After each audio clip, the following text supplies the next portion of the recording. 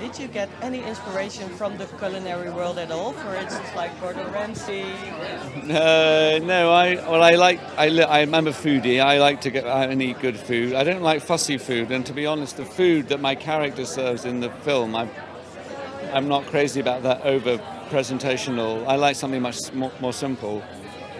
But I'm I love cooking. I'm and I'm interested. I watch these chef's tables episodes from Netflix, which are brilliant. They're brilliant because they are really good portraits, and they're in depth, and they're not they're not facile of the different psychologies and the history, and the background, the childhood of all these. So they were incredibly. They're wonderful. They're wonderful portraits of cooks. I found that really helpful. Just to what I could watch them again and again. So what kind of food do you like? As I say, I like simple food that is prepared simply with minimal fuss, but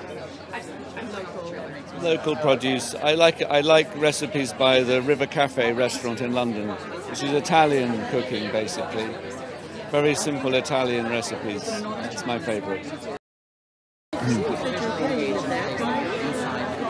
Why do you think you do that so well?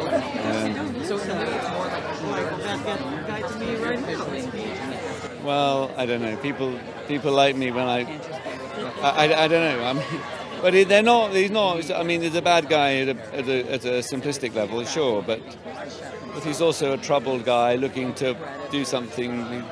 He's a. It's about the sort of psychopathology of per- perfection. You know, per- perfection is the sort of madness. And I, th- I think I think it's I think it's talking a bit about the drive to perfection will make you mad. I think. Yeah, yeah, yeah. What was your first reaction when you uh, read the script or you know what the story is going to be about? I was like, there's going to be food? That's fantastic. That was my first reaction. And then I was like, oh, the food is free. Even better, sign me up.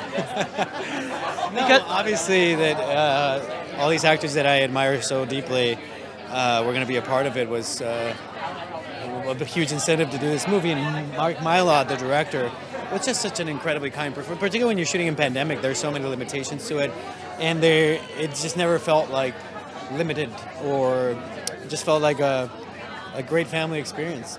Thanks to our dad, Mark Mylod. I don't. My therapist is gonna have a lot to say about that one. Okay.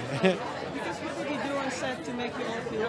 He kept a. He was really supportive of the choices you wanted to make, even if they were going in a direction that wasn't quite right. It was. There was never. Uh, don't do that. It was sort of. Uh, he gave us leeway to to explore the limits of what we wanted to do with the characters, and then would guide us to whether, to where the best uh, take of that would be for for the entire story. So if you could pick one last meal yourself, what would it be? Oh man, I don't know what the meal would be, but the dessert would definitely have Nutella in it. Just like a tub of Nutella. Just sw- like I'm gonna swim in it, eat it all. It's fine. Yeah, of course. I'm dying anyway. Might as well eat it all. Finally. Exactly. So are you foodie yourself? Yeah. Insofar as I like to eat uh, food, uh, I don't necessarily go. Uh, I, I like to go to nice restaurants, but I don't go.